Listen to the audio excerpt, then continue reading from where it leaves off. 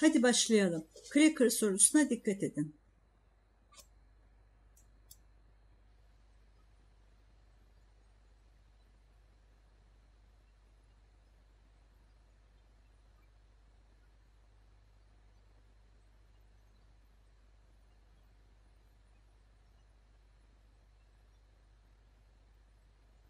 Son 10 saniye.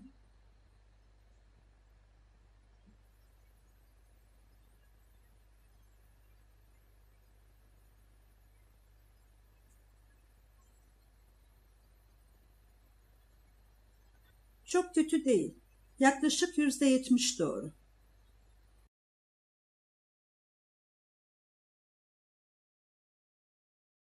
Pekala. Şimdi cevabın ne olduğuna bir bakalım. Q ve K arasındaki ilişki hakkında sizce doğru olan nedir? Q K'dan küçük müdür yoksa büyük müdür? Evet, daha küçüktür. Sizce tepkime nerede dengededir? Bunların ne anlama geldiğini düşünmek zorundayız. Ürünlere göre düşünmeyi tercih ederim. Burada fazla ürün var mıdır? Veya dengede fazla ürün var mıdır? Eğer Q K'dan küçükse dengede daha az ürün vardır ve tepkime ürünler yönüne kayar. Dengeye ulaşılıncaya kadar ürünler yönüne kayar. Çünkü K Q'dan daha büyüktür. Ve dengede şimdikinden daha fazla ürün vardır. Ve denge ürünler yönüne kayar. Pekala, %73'ünüz doğru yapmış. Bu dersin sonunda bu tür sorularda başarı oranı %90'a çıkar umarım. Bugün dış etkilerin denge sabitine nasıl etki ettiğini düşünmeye devam edeceğiz. Bir şeyden bahsetmek istiyorum. Bildiğiniz gibi her ders için ders notu veriyorum. Okuyacağınız materyallerin listesini bu ders notlarına koyuyorum. Bugünkü ders notunda okuyacağınız yerlerin sayfa numaraları yerine bölüm numaralarını verdim. Aralarındaki tek fark bu. Bunu şunun için yaptım. Takip ettiğimiz kitabın değişik baskıları var. Bu farklı baskılarda bu konunun başlık ve bölüm numaraları aynı. Fakat sayfa numaraları farklı. Bölüm numarasını verdiğimde hangi baskıyı kullanırsanız kullanın okuyacağınız yeri kolayca bulabilirsiniz. Ekranda okuyacağınız bölüm numarasını görmektesiniz. Her bir problem seti için okuyacağınız yerler ayrıca verilmiştir. Daha sonra sınav için ders notlarını gözden geçirdiğinizde bu konunun kitabın neresinde olduğunu kolayca görebilirsiniz. Dersin sonunda Le Chatelier ilkesi üzerinde konuşmuştuk. Bu prensibi bir tepkimenin değişim yönünü öngörmek için kullanabiliriz. Tepkimenin sağa mı yoksa sola mı kayacağına karar verebiliriz. Basitçe ifade etmek gerekirse sistem dış etkiyi en aza indirme eğilimi gösterir. Veya dış etkiyi en aza indirgeyecek şekilde davranır. Tepkimeye bir şey ilave edildiğinde tepkime sisteme ilave edilen bu şeyi en aza indirgeyecek şekilde kayacaktır. En son ders ortama reaktif ilave edildiğinde veya ortamdan ürün çekildiğinde tepkimenin ne tarafa doğru kayacağını konuştuk. Şimdi ise hacim değiştiğinde ne olacağını konuşacağız. Sistem denge halinde ise sistemin hacmini değiştirirseniz ne olur? Burada özellikle gaz sistemlerini konuşuyoruz. Gaz fazını düşündüğümüzde hacim hakkında ne biliyoruz? Gaz sistemlerinin hacmini azaltırsanız sistemin toplam basıncı artar. Hep böyle deriz. Bu sözü söylediğimizde aklımıza hemen hangi eşitlik gelir? Evet, PV eşittir NRT. Basınç ve hacim arasında bir ilişki vardır. Burada N mol sayısıdır.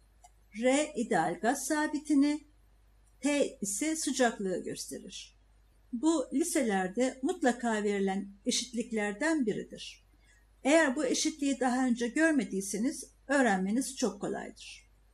Le Chatelier ilkesi şunu öngörür. Bir gaz sistemin hacmini arttırırsanız sistem toplam basıncı azaltacak şekilde cevap verir. Çünkü sistemin hacmini azaltırsanız toplam basıncı arttırmış olursunuz. Le Chatelier şöyle der. Dur bir dakika bekleyin. Sistem şimdi bu basıncı azaltmak isteyecektir. Yani toplam basıncı azaltacak şekilde cevap verecektir. Şimdi buna ait bir örneğe bakalım.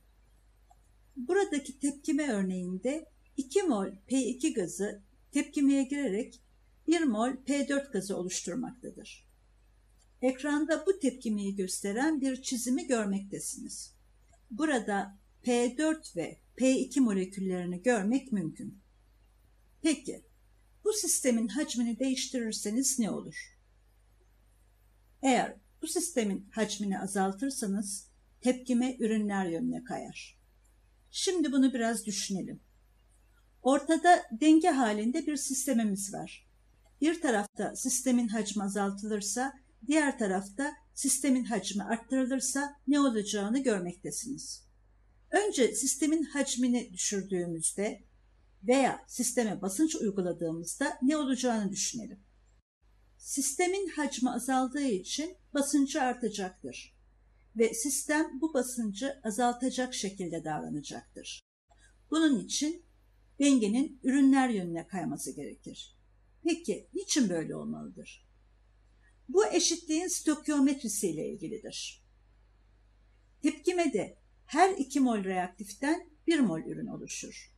Eğer denge 2 molden 1 mole doğru kayarsa basınç azalmış ve böylece artan basınç telafi edilmiş olur. Hacmin azaltılması ile meydana gelmiş olan basınç artışı dengelenecektir. Böylece sistem dış etkiyi azaltacak şekilde cevap vermiş olur. Tepkime sağa doğru kayar ve toplam basınç azalır. Bunun niçin doğru olduğunu biraz düşünelim. Şimdiye kadar hep kalitatif olarak düşündük. Biraz da matematiksel yönden bakalım. Hadi bunları Q ve K terimi cinsinden düşünelim. Farz edelim ki hacim iki kat azalmış olsun. Yani faktör 2 olsun. Basitleştirmek için sistemin sıcaklığının sabit olduğunu düşünelim. Bu değişim her iki gazın kısmi basıncını arttıracaktır. Hem gaz reaktifin hem de ürünün kısmi basıncı aynı miktarda yani iki kat artacaktır. Şimdi tepkimenin Q değerine bakalım. Q değeri başlangıçtaki ürünlerin kısmi basıncı bölü reaktiflerin kısmi basıncıdır. Başlangıçta basınç arttığı için her iki gazın kısmi basıncı da iki kat artacaktır. Hem ürünlerinki hem de reaktiflerinki. Fakat burada bir kare ifadesi var. Bu nedenle toplam Q değeri 1 bölü 2 olacaktır. Veya Q değeri 2 birim kadar azalacaktır. Sonuçta Q değeri K'dan daha küçük olacaktır. Clicker sorusunda Q'nun K'dan küçük olduğunda ne olacağını konuşmuştuk. Bu durumda Q K'ya eşit oluncaya kadar denge ürünler yönüne doğru kayacaktır. Bunu Q ve K terimleri cinsinden düşünebilirsiniz. Bir tarafta kaç mol gaz var, diğer tarafta kaç mol gaz var. Sistem üzerindeki dış etkiyi azaltmak için ne yapar? Sistem nasıl cevap verir?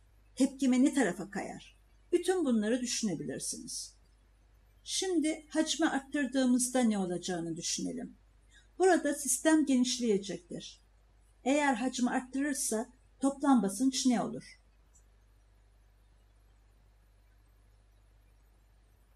Seni duydum ama bu soruya herkesin cevap vermesini istiyorum. Teşekkürler. Pekala. Basınç azalacaktır.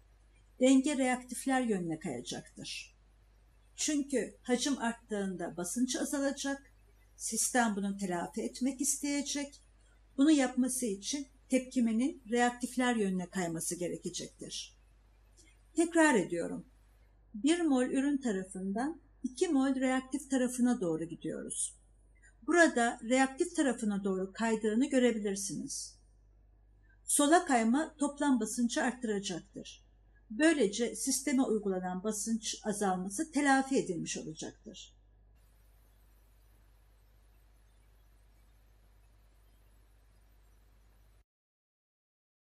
Bunu tekrar Q ve K terimleri cinsinden düşünelim. Şimdi püf noktası içeren bir örnek yapalım. Sisteme inert bir gaz eklersek ne olur? Bu esnada sıcaklık sabittir ve sistemin basıncı artacaktır. Eğer sisteme inert gaz ilave edersek sadece sistemin toplam basıncını arttırmış oluruz. Hem ürüne hem de reaktife bir şey ilave edilmiş olmaz. Bu durumda ne olur? Bu durumda iki seçenek vardır. Bu seçenekler hakkında ne düşünüyorsunuz? Bunlar neler olabilir? Yoksa hiçbir şey olmayabilir mi? Veya niçin hiçbir şey olmayabilir? Peki, Q, gaz reaktif ve gaz ürünlerin kısmi basıncına bağlıdır. Bu örnekte kısmi basınçlar değişmemektedir.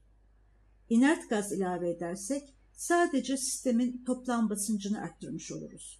Fakat kısmi basınçları değiştirmiyoruz.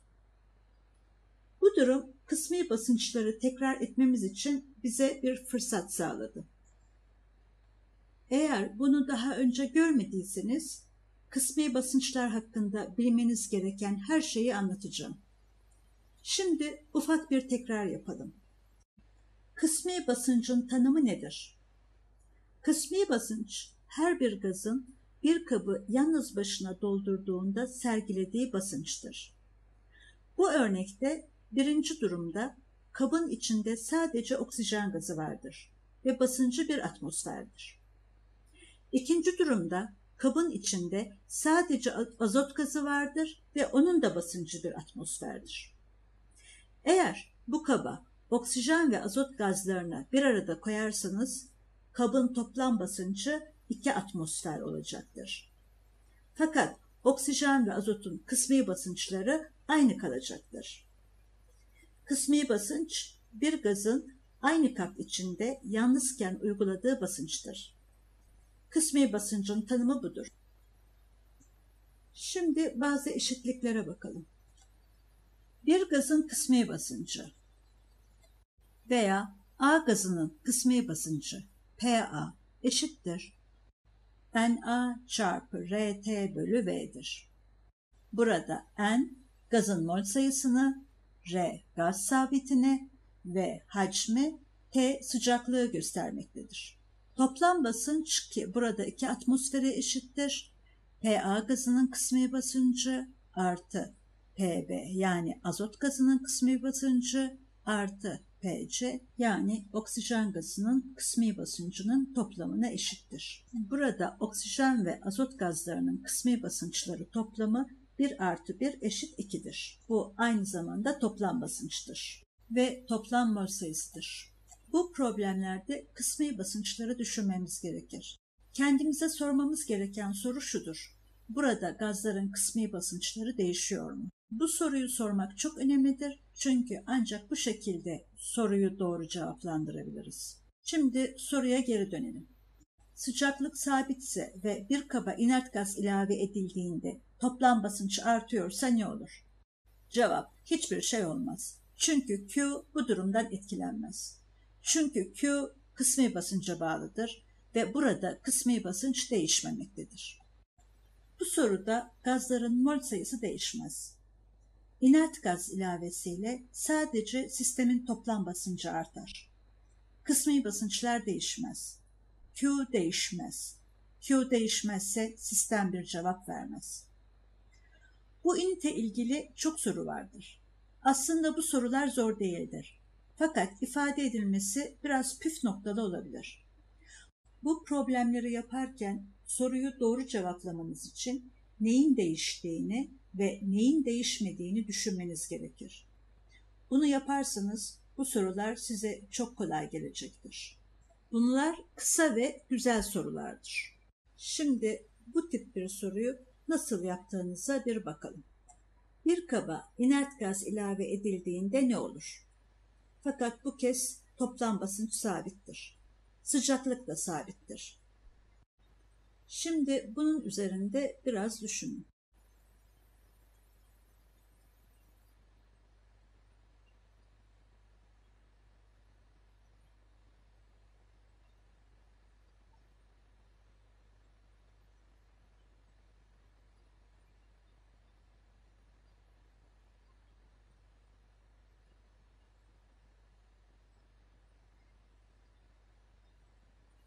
Son 10 saniye.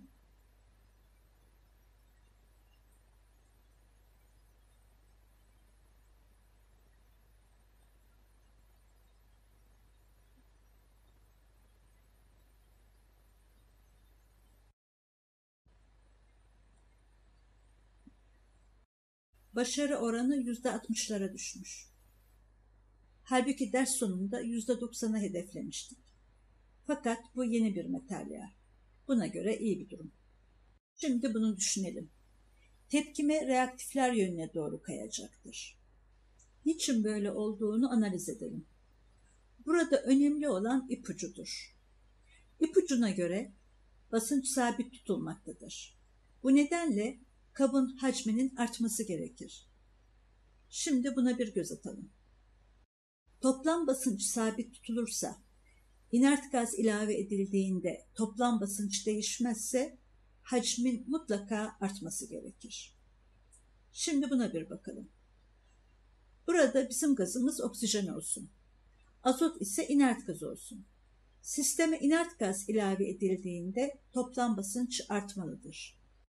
Eğer basınç artmazsa bir şeyin mutlaka değişmesi gerekir. Burada değişecek şey hacimdir. Aksi takdirde toplam basınç aynı kalamaz. Basınç değişmeyecekse kabın hacmi artmak zorundadır. Şimdi şu soruyu soralım. Tepkimeye ne olur? Tepkime ne tarafa doğru kayar? Hacmi arttırırsanız, hacmi genişletirseniz bu durumda denge 1 molden 2 mole doğru kayacaktır. Yani reaktiflere doğru gidecektir. Hacim arttığı için gazların kısmi basıncı değişecektir. Gazlar daha çok hacme sahip olacaktır ve gazların kısmi basıncı düşecektir. Gazlar kendileri için daha büyük bir yere sahip olacaktır. Gazları bencil moleküller olarak düşünebilirsiniz. Orada ne olduğu umurlarında değildir. Onlar sadece çevrelerinin ne kadar büyük olduğuyla ilgilenirler. Basınç arttığında bu etkiyi telafi etmek için iki molekülün olduğu yerden tek molekülün olduğu yere doğru hareket edeceklerdir. Bunların hepsi Q ve K'daki kısmi basınçlarla ilgili. Tekrar ediyorum. Bu sorularda nelerin değiştiğini incelemelisiniz. Bu soru çoğunlukla şu şekilde ifade edilir. Bir şey sabit tutulur. Bir şey sabit tutulursa bunu sabit tutmak için veya bunun doğru olması için bir şey değişmeli midir? Tekrar ediyorum. Buradaki ifadeler bu Le Chatelier ilkesinin öngörü aracıdır. Le Chatelier şöyle der. Sistem bu şekilde değişirse yani hacmi artarsa o zaman kısmi basınç azalır. Sistem bu etkiyi azaltmak için kayacaktır. Bu etkiyi azaltmak için kısmi basıncını arttırmak isteyecek ve 1 molden 2 mole doğru kayacaktır. Tekrar ediyorum. Bu Le tahminidir. Basit fikre dayanarak kaymanın yönünü şöyle öngörürüz. Bir sisteme dış etki uygulandığında sistem bu etkiyi en aza indirecek şekilde cevap verecek. Daha önce bahsettiğim gibi etkiyi en aza indirme kavramı bazı MIT öğrencilerine zor gelebilir. Fakat şunu unutmayın. Bu durumda sistemin bu etkiyi azaltmak için hangi tarafa doğru kayacağını öngörmelisiniz.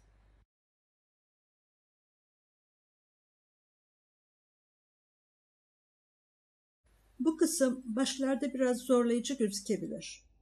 Bazı sorular için oturmalı ve burada ne olduğunu düşünmelisiniz. Bunu bir kere anladıktan sonra çoğunuz için bu kısımdan gelecek sorular çok kolay olacaktır. Sınavda bu soruları dört gözle bekleyeceksiniz.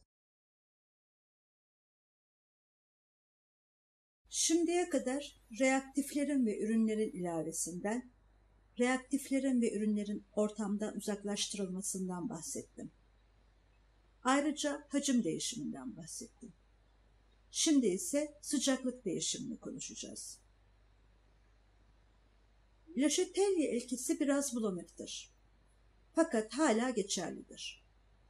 Dengedeki bir karışımın sıcaklığının artmasını konuşuyorsak, Chatelier ilkesi şunu önerir. sistem bu etkiyi azaltacak şekilde cevap verir der. Bu nedenle eğer sisteme ısı verirseniz sistem buna cevap vermek için ısının bir kısmını soğurur. Sistemdeki değişimi dengelemek ister. Şimdi buna bir bakalım. Isı veren bir tepkimede sıcaklığı yükselttiğimizi düşünelim. Bu durumda ne olacaktır? Isı veren bir tepkimede sıcaklığı yükseltmek reaktiflerin oluşumu lehinedir. Denge reaktifler yönüne doğru kayar. Bu niçin doğrudur? Bunu çok basit bir şekilde düşünebiliriz. Isı veren bir tepkimede ileri yönde ısı üretilir.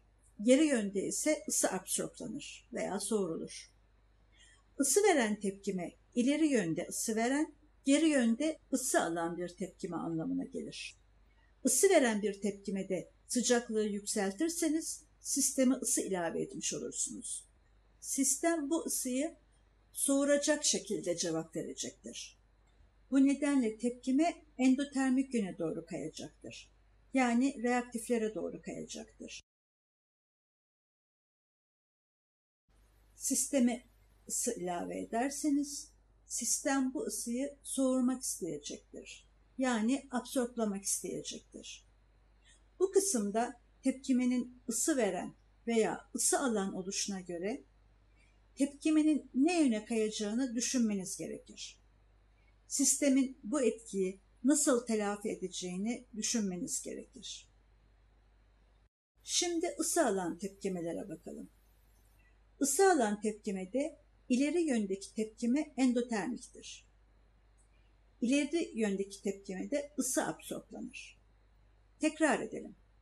Bu çok kolay bir düşünme tarzıdır. Sıcaklığı yükseltirseniz Le Chatelier ilkesine göre ısı soğurmak isteyeceksiniz demektir. Bunun için de tepkimenin ürünler yönüne kayması gerekir. Şimdi bunu deneyelim. Sisteme ısı ilave edilmiş olsun. Burada öngörü aracı olarak delta H hakkında bilgi verilmiştir. Delta H eşittir eksi 197.78 kilojül bölü mol'dür. Tepkime ne tarafa doğru ilerler?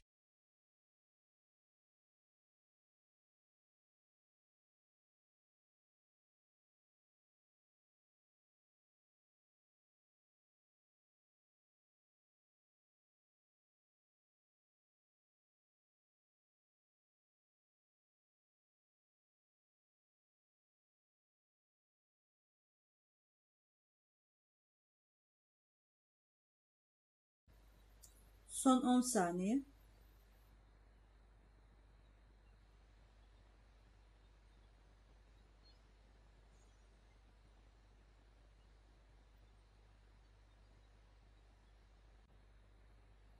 Arkadaşlarınızla niçin müzakere etmiyorsunuz?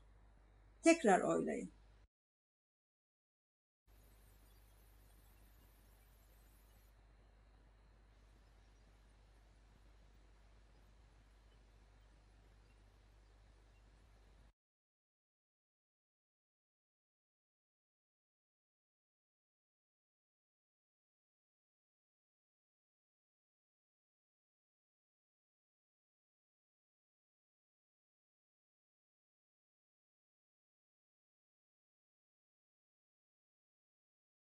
Son 10 saniye.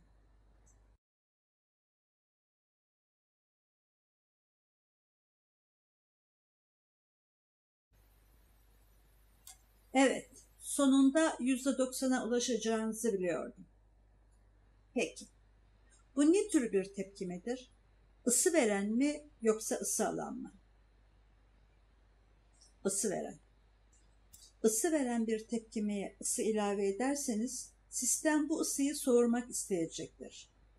Bunun için endotermik tarafa doğru kayması gerekir. Bu ters yöndeki tepkimedir veya reaktiflere doğru kayacaktır. Bu olması gereken şeydi. Grup tartışmasından sonra çoğunuz doğru cevabı verdi. Pekala, şimdiye kadar hep denge sabiti hakkında konuştuk. ve onun bir sabit olduğundan bahsettik. Ona denge sabiti adını verdik. Fakat bu sadece belli bir sıcaklıkta sabittir. Denge sabiti sıcaklıkla değişir. Tepkimenin hızı da sıcaklıkla değişir. Kinetik bu dersin son konusu. Bu konuyu biraz daha tartışacağız. Denge sabiti sıcaklıkla nasıl değişir? Şimdi bunu biraz düşünelim.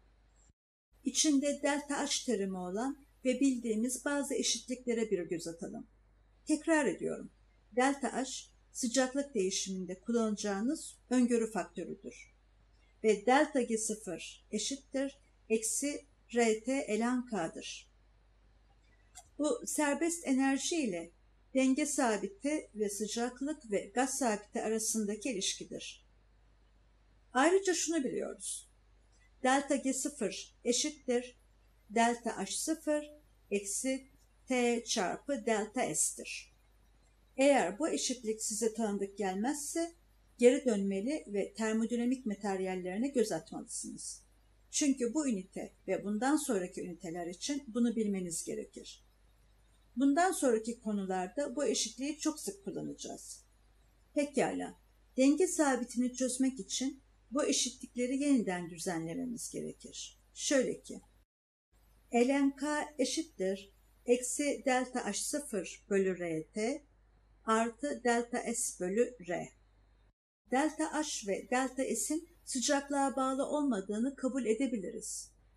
Çünkü konuştuğumuz sıcaklık aralığında bu doğru olabilir. Bu şu anlama gelir. Bu eşitlikte K ve onun doğal logaritması ln sıcaklığa bağlı olarak değişecektir. Diğerleri bütün sıcaklıklarda sabit olacaktır, değişmeyecektir. Burada denge sabiti ile sıcaklık arasında bir ilişki vardır. T1 sıcaklığındaki denge sabitine K1 ve T2 sıcaklığındaki denge sabitine K2 diyelim. Ln K2 bölü K1 eşittir eksi delta H bölü R parantez içinde 1 bölü T2 eksi 1 bölü T1 olacaktır. Bunu başka türlü de yapabilirdik. T1 ve T2 için düzenlediğimiz bu iki ifadeyi birbirinden çıkarttığımızda delta S terimi birbirini götürür. Yine aynı eşitlik elde edilir. Buna Van Hoff eşitliği adı verilir. Bu eşitliği adı ile bilmeniz önemlidir. Daha sonraki derslerde bu ismi size soracağım. Daha sonra öğrenciler bunun Van Hoff eşitliği olduğunu söylediğinde çok mutlu oluyorum. Bu adı olan birkaç eşitlikten biridir. Şimdi devam edelim. Bu eşitlik ne yapar? Bu eşitlik şöyledir.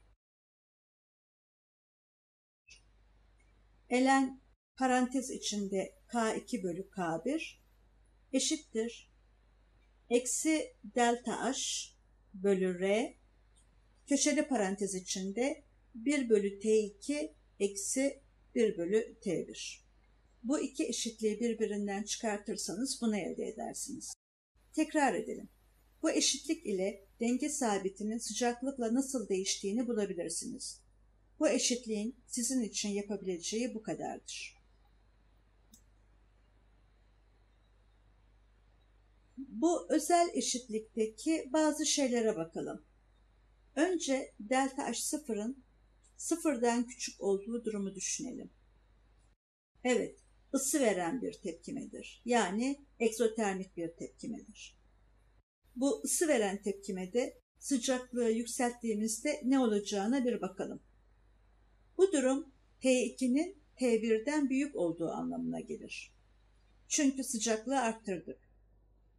Bu iki değer yani T1 ve T2 doğru ise elen K2 bölü K1 teriminin işaretinin ne olacağını düşünelim. Eşitlikte bir eksi işaret vardı. Bunu aşağı indirelim. Delta H0 ısı veren bir tepkimedir ve işareti negatiftir. Bunu da aşağı indirelim. Eğer sıcaklığı arttırırsa T2 T1'den büyük olacaktır. Bu da parantez içindeki değerin işaretinin negatif olacağı anlamına gelir. Bunu da aşağı indirelim. Böylece eksi çarpı eksi çarpı eksi net sonuç eksi olacaktır. Bu durum denge sabiti cinsinden K1'in K2'den büyük olacağı anlamına gelir.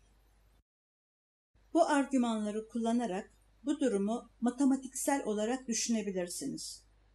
Bir ısı veren tepkimede sıcaklık arttığında beklentinizin ne olacağını, dengede ürün bölü reaktif oranının ne olacağını düşünebilirsiniz. Bir eksotermik tepkimede sıcaklığı arttırırsınız, tepkime ısıyı soğurma yönüne doğru yani endotermik yöne doğru kayacaktır. Bu durumda düşük sıcaklıktaki denge sabitinin yüksek sıcaklıktakine göre daha fazla olması beklenir. Bu da yüksek sıcaklıkta daha az ürün oluşacak demektir. Tekrar ediyorum. Bunu Le Chatelier ilkesine göre düşünebilirsiniz veya bu eşitliği kullanarak matematiksel olarak hesaplayabilirsiniz ve K1 ve K2'nin bağıl büyüklüğünü düşünebilirsiniz. Şimdi de sıcaklığı düşürdüğümüzde ne olacağını düşünelim. Bu durumda T2 T1'den küçük olacak. Aynı şeyi yaparız. Formülün başında negatif işaret vardır. Delta H'nin işareti de negatiftir. Çünkü ısı veren tepkimedir. Fakat şimdi parantez içindeki sıcaklık terimi pozitif olacaktır. Bu durumda doğal logaritma ln k2 bölü k1 için toplam terim artı olacaktır. Matematiksel olarak k1'in k2'den daha küçük olacağı anlamına gelir. Veya yüksek sıcaklıkta denge sabitinde daha fazla ürün olmasını beklersiniz. Bu ısı veren bir tepkimedir. Chatelier ile ilgili bir problem varsa gidip Van Hoff eşitliğini kullanabilirsiniz. Böylece kaymanın yönünü tahmin edebilirsiniz. Isı veren bir tepkimede sıcaklık değiştiğinde yeni denge sabitinin büyüklüğünün ne olacağını bulabilirsiniz. Pekala. Şimdi aynı şeyi benim için yapın. Delta ışın sıfırdan büyük olduğu durum için düşünebilirsiniz. Aşağıdakilerden hangisi doğrudur? Dikkat edin. Şıkların hepsi doğru olabilir.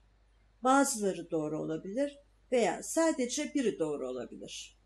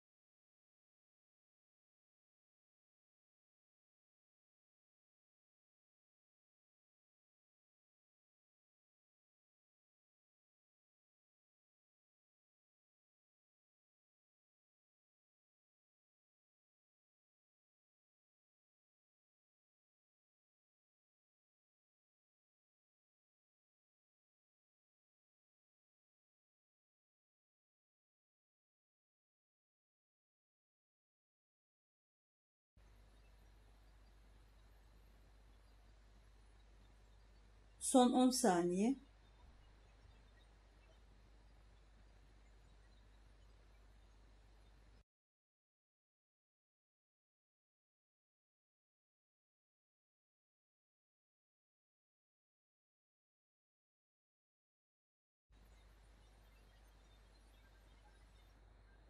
Gördüğüm kadarıyla sonuç çok iyi.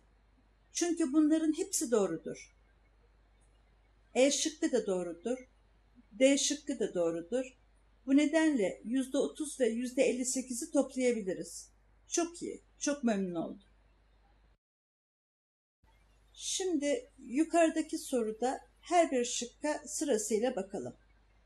İlk şıkta tepkime endotermiktir. Sanırım hepiniz bunun doğru olduğunu anlamıştır.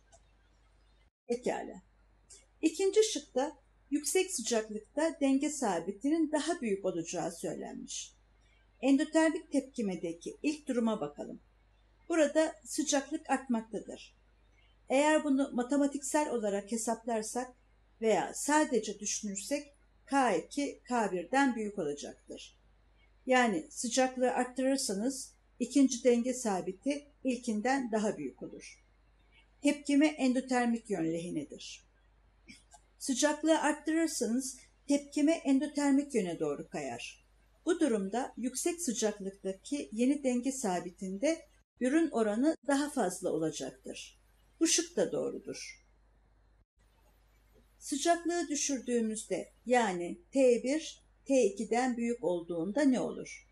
Bir de bunu düşünelim. Tepkime ısı veren yön lehinedir.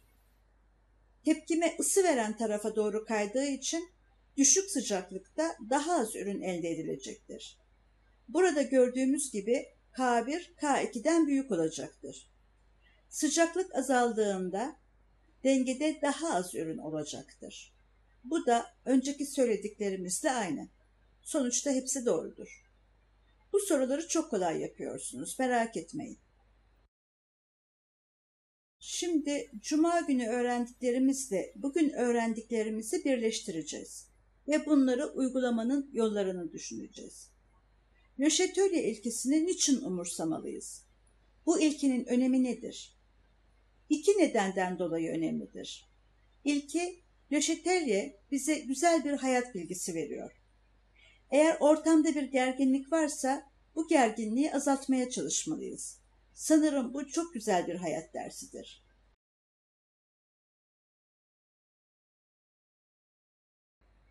Diğeri, eğer bir tepkimede verimi arttırmayı düşünürseniz bu öngörü çok işinize yarar. Bir endüstriyel proses yaratırsanız çok para kazanacaksınız demektir.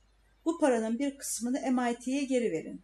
MIT'de kimya eğitiminin iyileştirilmesine katkıda bulunmuş olursunuz. O zaman bu prensipleri düşünmek isteyebilirsiniz. Çünkü o zaman veriminizi en üst düzeye çıkartmak isteyeceksiniz. Eğer bir ürün yapacaksanız bu üründen çok fazla yapmak zorunda kalacaksınız demektir. O zaman da bu prensibi düşünmeniz gerekecek. Son kez amonyak eldesi için azot ve hidrojen gazlarının tepkimeye sokulduğundan bahsetmiştik. Bu tepkime egzotermiktir. Pek çok kişi amonyak elde etmek ister. Çünkü gübre olarak kullanılır. Bazılarınız bunun terör amaçlı kullanıldığını duymuşsunuzdur. Patlayıcı yapımında da kullanılabilir. Çeşitli nedenlerden dolayı bunun üretimi önemlidir. Bu tepkimenin verimini nasıl en yüksek hale getirebiliriz? Bu ısı veren bir tepkimedir. Sıcaklığı düşünebiliriz. Burada düşük sıcaklık ürün lehinedir. Bu iyidir. Ama henüz tepkimenin kinetiğinden bahsetmedik. Sıcaklık düştükçe tepkimenin hızı da düşer. Bu kötüdür. Çünkü sadece çok ürün elde etmek istemeyiz. Aynı zamanda bu ürünün hızlı elde edilmesini isteriz. Çünkü bu ürün satılacak ve daha fazla para kazanılacaktır. Böylece daha önce emekli olabilirsiniz. Bunun için tepkimenin ne kadar hızlı olacağı umurunuzdadır. Isı veren bir tepkimede termodinamik olarak en avantajlı durum ile kinetik olarak en avantajlı durumu dengelemelisiniz. Termodinamik olarak sıcaklığın düşük olmasını istersiniz. Fakat kinetik olarak istenen bu durum değildir. Bir sıcaklıkta uzlaşırsınız. Bu bu tepkime için 500 derece santigrattır ve oldukça yüksek bir sıcaklıktır. Bu tepkimeyi ürünler yönüne kaydırmak için yapmanız gereken diğer şeyler nelerdir? Evet, başka neler yapabiliriz? Evet, burada hacmi düşünebiliriz. Tepkimenin bir tarafında 4 mol, diğer tarafında 2 mol vardır. Ürünü arttırmak için lehine olan durumu düşünebiliriz. Başka ne yapabiliriz? Enzimleri biraz sonra konuşacağız. Enzimler haricinde başka neler yapabilirsiniz? Evet, sistemden amonyağı uzaklaştırabiliriz. Böylece dengeyi kaydırabiliriz. Bu iki şeyi bir yana koyalım. Ürünleri uzaklaştırabiliriz. Sistemden amonyağı uzaklaştırabilirsiniz. Bunu endüstriyel proseslerde yapabilirsiniz. Belli bir zaman sonra sistem durdurulur ve ürün uzaklaştırılır. Bu durumda hey duralım ve daha fazla ürün almak için dengeyi kaydıralım derler. Burada yapılan Q'yu K'ya karşı değiştirmektir. Ürünü ortamdan alırsınız, bu etkiyi azaltmak için daha fazla ürün meydana gelir. İlk olarak düşündüğünüz şey hacmi değiştirmektir. Evet, hacmi azaltabiliriz. 4 mol reaktiften 2 mol ürün oluştuğu için hacmi azalttığımızda denge ürünler yönüne kayacaktır. Hacmi azaltmak yerine basıncı arttırabiliriz. Basınç artınca buna cevap vermek için sistem basıncı azaltmak isteyecek ve denge mol sayısının daha az olduğu yöne doğru kayacaktır. Her ikisi de geçerlidir. Her ikisini de kullanabilirsiniz. Bazen kimya çalışırken bazı prensiplerin çok basit olduğunu fark edersiniz. Bu sınıfta öğrendiğiniz prensipleri doğru bir şekilde uygulayarak epey para kazanabilirsiniz. Aslında bazı bilimler, keşifler çok da karmaşık değildir. Bazılarınız enzim kullanırız demişti. Bu cevabı çok sevdim. Enzimleri pek çok yerde kullanmak isterim ve insanlar bunu yapmayı deniyorlar. Peki şimdi niçin enzim kullanmak istiyorsunuz? Havada azot gazı çok fazla ama bu çok kullanılabilir bir gaz değildir. Çünkü havadaki azot gazını parçalayıp amonyak oluşturmak hiç de kolay değildir. Eğer azot atomları arasında kaç bağ olduğunu düşünürseniz bunu ikiye parçalamanın niçin zor olduğunu anlarsınız. Şu anda kullanılan endüstriyel prosesler uzunca bir süreden beri kullanılan endüstriyel proseslerle aynıdır. Mesela haber boş prosesinde enzim kullanılmaz. Burada her iki kişinin de resimlerini görmektesiniz. Bu prosesle iki tane Nobel ödülü aldılar. Endüstriyel proseslerde ilerleme sağladıkları için verildi ve bu prosesler hala kullanılmaktadır. Tarihsel bir not düşeyim. Bunlar Alman bilim adamlarıdır. İkinci Dünya Savaşı'nda bu proses üzerinde çalışmaları Almanlar için önemliydi ve bu prosesleri hala kullanılmaktadır. Enzimler hakkında ne düşünüyorsunuz? Belki de enzimler bu proseslerden biraz daha iyidir. Ama henüz bu doğru değil. Amonyak üretiminde hala haber boş prosesi kullanılmaktadır. Fakat enzimler bunu yapabilir. Endüstriyel tepkimelerdeki yaygın problemlerden biri burada yüksek sıcaklığa gerek duyulmasıdır. Hatırlatırım, bu tepkimede sıcaklık 500 derece santigrattı. Hacmin azaltılmasından bahsettik. Bu hacmi sıkıştırmak için de enerji vermeniz gerekir. Bu çok pahalıdır. Sisteme enerji vermeksizin bu tepkimeyi normal çevre şartlarına yapacak başka bir yol düşünmek isteyebilirsiniz. Enzimler bu tepkimeyi oda sıcaklığında yapabilirler ve bunun için yüksek basınca gerek duymazlar. Enzimler bunu şu yolla yapar. Burada nitrojenaz enziminin bir resmini görmektesiniz. Burada nitrojen azot anlamına gelir. Az takısı ise onun enzim olduğunu gösterir. Bu enzimin bunu nasıl yaptığı hala bir sırdır. Haber ve Boş prosesleri ile iki Nobel ödülü almasına rağmen bu enzime hiç Nobel ödülü verilmemiştir. Halbuki ikisi de aynı şeyi yapmaktadır. Bunların sırrı metallerdir. Bu enzimde protein içinde özel metal clusterları bulunmaktadır. Enzim bu tepkimeyi yapabilmek için bu cluster'da demir, iyonik sülfürler ve molibden vardır. Bu metal kombinasyonu bir kimyasal tepkimeyi yapar. Pek çok bilim adamı bu enzimin nasıl çalıştığını anlamak için senelerden beri uğraşıyorlar. Bu oldukça karmaşıktır ve hala tartışmalıdır. Şimdi bu enzimin kalbini göstereceğim. Burada enzimin bütün atomlarını görmektesiniz.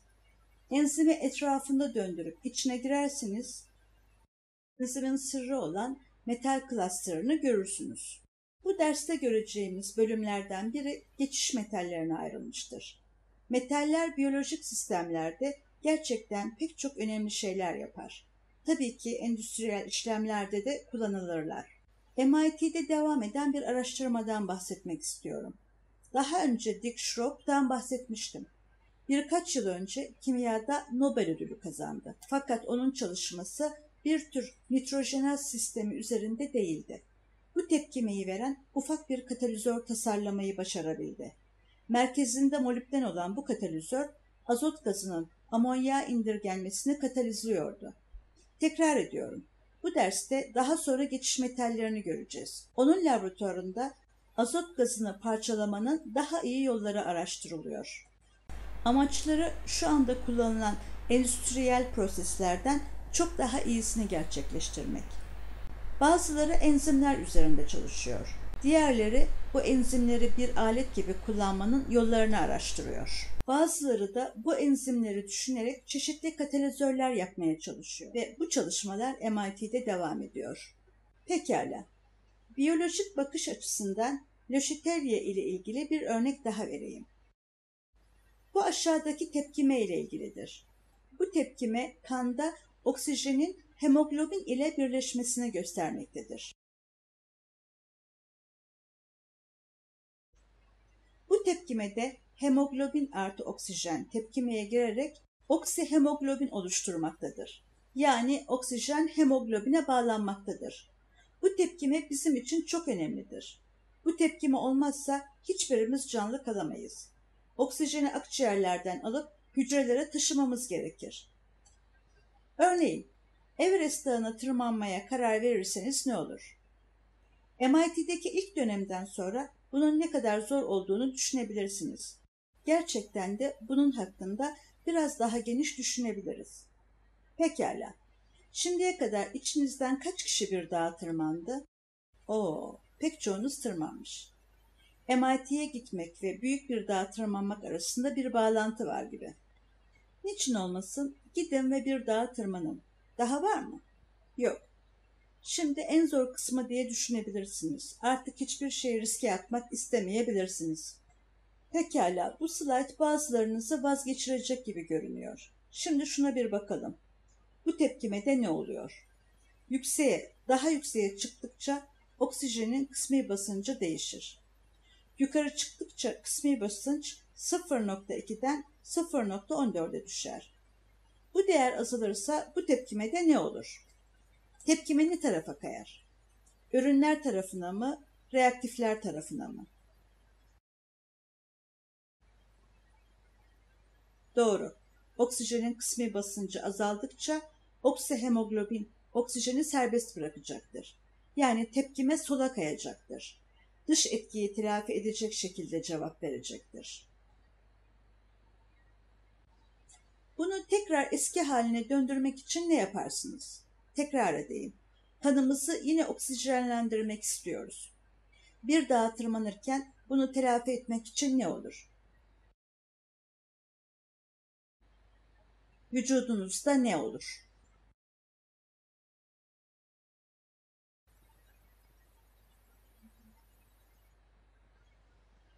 Evet, vücut daha fazla hemoglobin üretir. Çoğunlukla başka bir yüksekliğe çıkarsınız, orada bir süre asıl durursunuz. Sonra tekrar tırmanmaya devam edersiniz. Bu esnada ne olur? Vücudunuz bir problem olduğunu anlar. Löşetelya prensibini bildiği için daha fazla hemoglobin yapmaya başlar. Bu tepkimeye daha fazla hemoglobin ilave ederseniz tepkime ne yöne kayar? Ürünler yönüne kayar. Pekala. Biraz da anlamlı rakamlardan bahsetmek istiyorum. Burada bir şeyi itiraf etmek istiyorum. Bu dersi ilk vermeye başladığımda logaritma ile ilgili anlamlı rakam kurallarına hiç dikkat etmezdim. Bu ünitede ve bundan sonraki ünitelerde logaritma ile çok karşılaşacaksınız. Logaritmanın özel anlamlı rakamlar kuralları vardır. Ders notlarınızın sonunda ayrıca kitabınızda bu kurallar açıklanmıştır. Bunlara dikkat edin. Bunlar bu dersteki bütün problem setinde size yardımcı olacaktır. Ben sadece logaritmanın bu özel kurallarına dikkat çekmek istedim. Pekala, bugünlük bu kadar. Çarşamba günü görüşmek üzere.